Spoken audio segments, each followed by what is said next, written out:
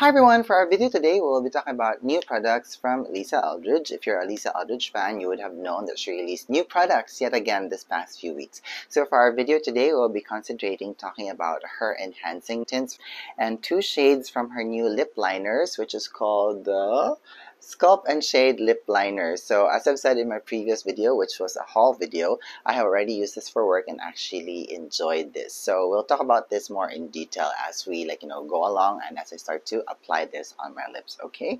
So yeah, so basically we will be um, applying this product on my face and we'll try to see how well it will work for me and hopefully this video will prove useful and insightful. So at this point of the video, I already have all of my skincare down. So I have like you know used a well aside from the cleanser I have used my toners which is like you know a mandelic acid toner and a salicylic acid toner. I have also some vitamin C on. I also have some sunscreen and eye cream. So we'll try to see how well these enhancing tints from Lisa will actually like you know layer on top of all those products. So if you want to know all the skincare products that I use today, everything is listed down on the description box, okay? All right, and also one other thing, I am shooting under natural light today, so we'll try to see how well this looks um, when we don't have any artificial light on because seriously I actually don't like shooting under artificial light because I just find the lighting just to be way too strong and it kind of like alters like you know the true essence of like you know the products that you're using. But anyway enough of that. So this is Lisa's enhancing tint as you guys can see with the packaging, it comes in a white plastic bottle. It's in an oval shape. And at the back, we have this flat surface here, which I actually appreciate because this enables you to hold the packaging very, very securely. Because as we all know, if you have packaging that is like you know, in circular shape, they tend to slip off from your hand very easily. So at least with this, you can grip the packaging and you can just like, you know, really tap the packaging on the back of your hand or on your palette without the uh, packaging actually flying out of your hands. Now, the package design here is very similar to her foundation design bottle. And at least we have a very cohesive design going on. So that's what I love about like, you know, the packaging of Lisa Eldridge is that there's a like you know a uniformity with her packaging design. There's also some similarity and difference but as a whole when you look at it um, it's a very distinct Lisa Eldridge brand and I love it. I love it. Super love it. If I was still in school because I actually have a bachelor's degree in fine arts with a major in advertising art I would have studied her packaging design. But anyway I digress. Okay so now it's time for us to try this. So according to the um, instructions here at the back of the bottle you will really need to shake this okay? Now by the way I actually bought two shades of Lisa's Enhancing Tint. So this is T5 and T9.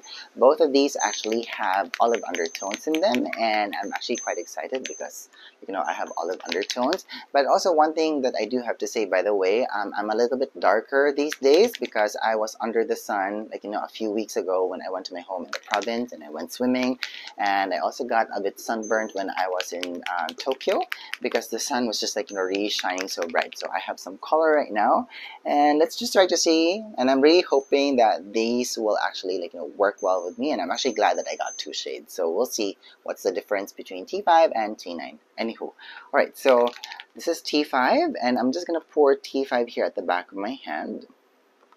Ooh very nice consistency. So this is T5 look how liquidy it is. So let me just flatten that a bit. And I have T9 now and I'm just going to apply that right beside T5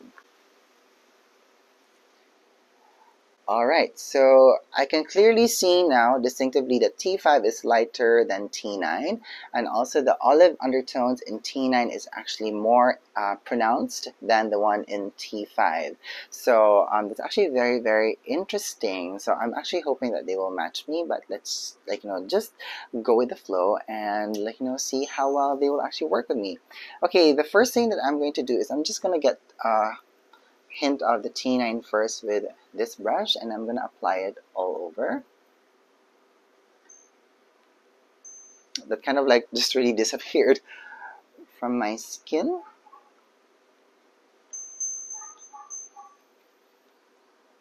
Okay, so it's very skin-like, it's very thin, it's also very easy to apply and to blend out.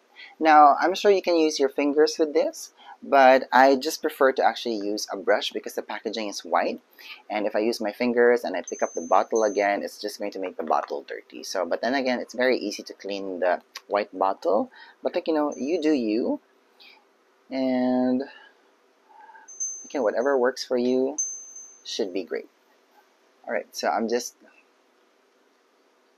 lightly brushing the enhancing tint all over my skin and it's blending out very nicely and I'm still having this very nice skin-like quality that I'm actually looking for. Okay, my first reaction that I am actually liking with this enhancing tint is that I don't get any ashy tones coming out from my skin.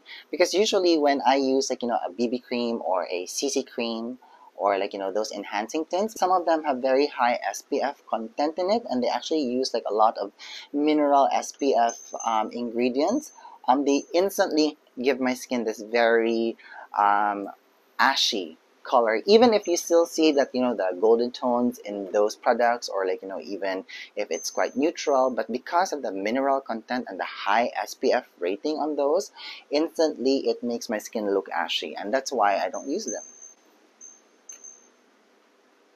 But with this one look at that like you know when I'm just like you know really running the brush here on my skin it's skin color true and it's actually blending out quite nicely. And mind you again I'm shooting under natural light and this is how it looks like. Fantastic. Look how beautiful that is. Very very beautiful. Look at that. And just that's just like a very thin layer on. Okay so let me apply a little bit of that here in my under eye area here to my nose. And I can actually already see that it that the enhancing tint has like you know really tamed down my redness here in my nose area and here in my cheeks it's making everything look very nice and bright and even and that's a thing that I like when I'm doing foundations or like you know skin um, products everything should look even because that's like an indication that you actually have healthy skin wow I was not expecting this at all. Okay, so what do you guys think? Do you guys approve? I actually approve. Look at that. And mind you, it's actually very humid right now uh, as I'm doing this video because, uh, like, you know, summer has um, arrived in my country and it doesn't feel heavy. That's one thing that I actually like about it. Okay, so now what I'm going to do is I'm just going to pick up a little bit of the T5 here and this is what I'm going to use here, like, you know, in my under eye area and also here in my like you know T-zone area just so that it's like a highlighter of sorts. Okay, so the T5 is indeed lighter than the T9. So if you have like you know fair skin tones with olive undertones, I think the T5 is the color that you should um, purchase for yourself. But if you have medium skin tones like I do, the T9 should be actually good. All right. So this is how Lisa's enhancing tint looks like on my skin under natural light. What do you guys think? Do you guys approve? I love it.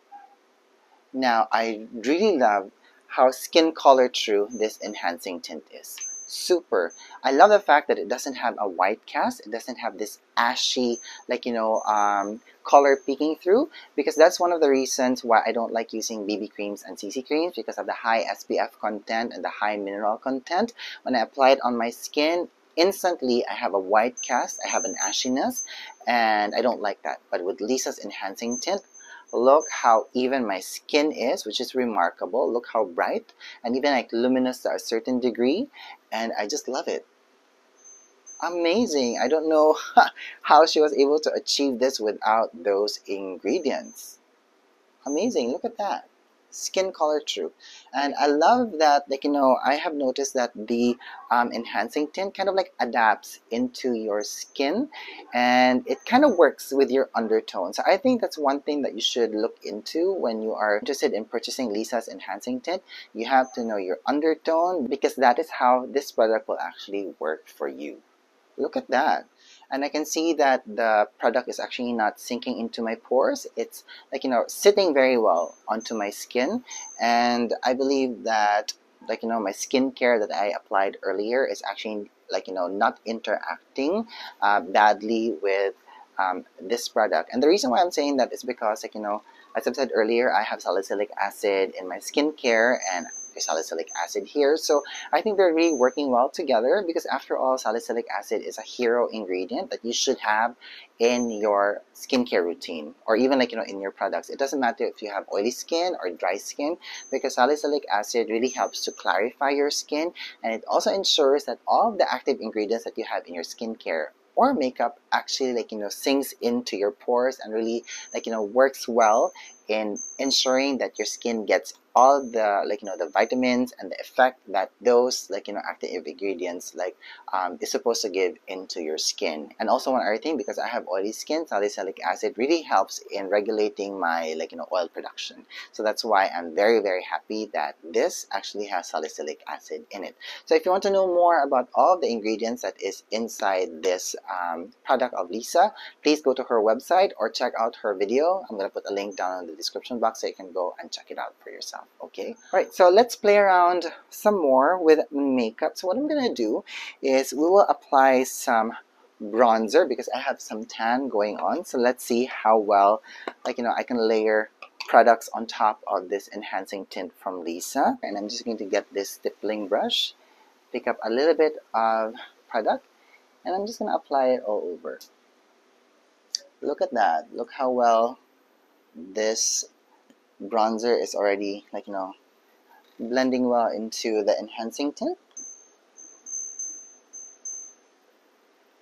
And it's also helping to add like nice warmth into my skin and just mimicking like you know the little tan that I have on okay that actually works very very well and maybe just out of curiosity let's add some blush so this is um, new to me. So this is the NARS Afterglow and this is in the color Wanderlust. So I actually showed this to you guys in my previous video. And I'm just to apply a hint of this on top of my cheeks just to add a hint of color and I think this will work well together because this afterglow it doesn't have so much pigments in it but it's just like you know light enough to actually give like you know some dimension of color into the cheeks and again it's actually working quite nicely in tandem with the bronzer and Lisa's enhancing tint. Okay, so I have a nice hint of color going on. Okay, next I'm going to get T5. To add a little bit of that here at the back of my hand. And this is what I'm to use, like, you know, as a concealer of sorts. Just going to add more layer. And I'm just to buff that out and blend that into the blush. I'm actually so amazed on how well you're actually able to layer the enhancing tint from Lisa and it's actually not causing like you know, additional texture into the skin and again it's still blending quite nicely together. Alright look at that. So that's how it all looks like with some bronzer on and a hint of blush. Very pretty. I like that. You still have that very nice skin-like quality which I actually love. Again, very seamless kind of like, you know, blendability with products. I love it. Okay, so just out of curiosity, I'm just going to apply a hint of powder in my under eye area. So I have some translucent powder here from um, Laura Mercier and with a brush, I'm going to just pick that up and I'm just going to tap it here. Mmm powder also sits well on top of it. But then again I'm just using a very light layer. So if you have oily skin like I do this is just a great idea just to help ensure like you know the product stays on longer. And then I'm just gonna leave the rest of my face powder free because I like the very nice like you know luminosity going on that I see with this enhancing tint from Lisa. Mm, I'm very very happy very very happy on how this actually progressed with us today. Okay, alright, so now it's time to move forward and we will try using the Sculpt and Shade lip pencils. Now, I actually love the concept behind Lisa's Sculpt and Shade lip pencils, like super, um, because as we all know, a lot of people love to sculpt and shade their lips, and usually most of the lip liners that we have in the market is always, you know, connected to a lip color. And although we have a lot of nudes, like, you know, in the market, we have a lot of browns, sometimes, like, you know, the color is just a little bit off, and like you know especially with someone like me who's working for makeup for film and tv um like you know you're oh i'm always told like you know try to make her lips look like you know very natural not too much color not too much like you know rosiness not too much redness. So i'm always like you know constantly trying to blend and mix colors together. And i find like with this especially when i use this for work recently it was very very easy and I'm kicking myself. Why I only have two shades. Anywho so the shades that I have here I have 0N and 1N now after I have used this I have realized that these two shades are not like you know the lip color for me. So for sure after this video I'm gonna purchase more colors from Lisa. But anyway let's just try this on my lips. So I'm going to start and use the shade 1N here. And I'm just going to apply this like you know all over my lip as a lip liner. So I'm gonna keep quiet now. So as you guys can see, it's actually very easy to apply the color. The product glides on effortlessly on the lips and you have instant color payoff, which is actually amazing. Look at that. Now I can actually already feel the product setting on my lips at the moment and it's not an uncomfortable sensation like you know because I'm sure you know what I mean when there are some products out there that you can actually like you know feel your lips like really drying out instantly like in one uh, with this one, it doesn't feel that way, which is actually great because it gives you enough play time to adjust when you're applying like, you know, the lip liner. You know, if you just want to correct certain parts of the lips, at least like, you know, you don't have to rush. Alright, so this is how 1N looks like on my lips. What do you guys think? Look at that. The color is very even and I'm actually able to say that this lip pencil was actually able to cover up like you know the dark tones of my lips. Because if you notice earlier I have a darker color in the outer edges of my lips and it's lighter in the inner portions of my lips. So right now what I have is a very nice even color very well balanced and it's not even like you know very obvious so if you're looking for a lip pencil product that is like you know lip color true to your lips then this is it. And then if you have like you know any lip balms or like you know even lip glosses or lipsticks especially if you like using a lot of nudes um, on a daily basis these um, sculpt and shade lip pencils from Lisa is actually a nice idea to have.